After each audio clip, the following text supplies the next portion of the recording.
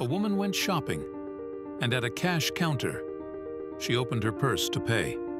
The cashier noticed a TV remote in her purse and asked, Do you always carry your TV remote with you?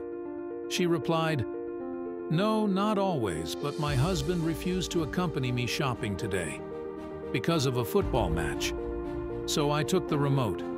Moral of the story Accompany and support your wife and her hobbies. After the cashier laughed, she then returned all the items that the lady had purchased. Shocked at this act, she asked the cashier what she was doing. She said, Your husband has blocked your credit card.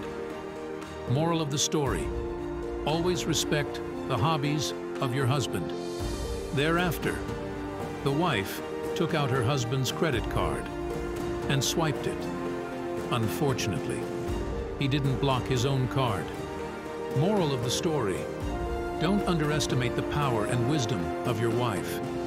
Thereafter, on swiping the machine indicated, enter the PIN sent to your mobile phone. Moral of the story, when a man tends to lose, the machine is smart enough to save him. Thereafter, she smiled to herself and reached out for her husband's phone in her purse showing the forwarded SMS she had taken, with the remote control from home. Moral of the story Don't underestimate a desperate woman. Thereafter, when she got home, she found a note saying, Couldn't find the remote, gone out with the boys to watch the match, and the key is with me.